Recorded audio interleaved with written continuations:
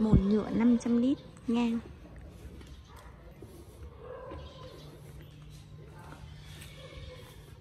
Bồn này được giao đến cho khách hàng ở Bình Mỹ, Củ Chi, mọi người ạ.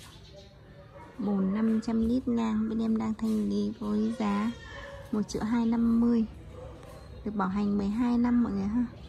Ở khu vực thành phố Hồ Chí Minh thì mình được miễn phí vận chuyển. Hoặc là các tỉnh mình à, cứ đặt hàng thì bên em sẽ ghép xe. Mình cũng không phải tính phí, ghép xe ra đến cho mọi người thôi. Ừ, trong vòng 3 hôm đến 5 hôm là có xe.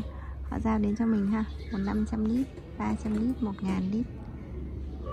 Ai mình cần sử dụng nhu cầu của bồn nước như thế nào thì mình cứ đặt hàng. Bên em sẽ lên đơn và ghép xe, giao hàng cho mọi người mình nha. Rồi em chào mọi người mình bồn này là mình sử dụng cho gia đình từ hai người ba người thoải mái này mọi người. Bồn à, nó có chiều ngang khoảng à, 80 chiều dài 1m2 và chiều cao cỡ 90 9 95 gì đó. Có diện tích như vậy là đạt được cái bồn 500 lít này.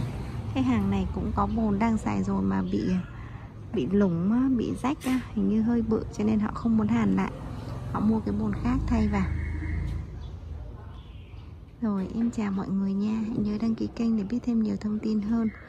Mọi người mình có thể liên hệ số điện thoại 0939636360 Số này có Zalo để mình xem hình ảnh à, cụ thể khi mà mình chọn bồn mọi người ha. Tạm biệt mọi người. Thảo của em chẳng xong là đi ra cho khách ạ. Lắp đặt cho khách luôn.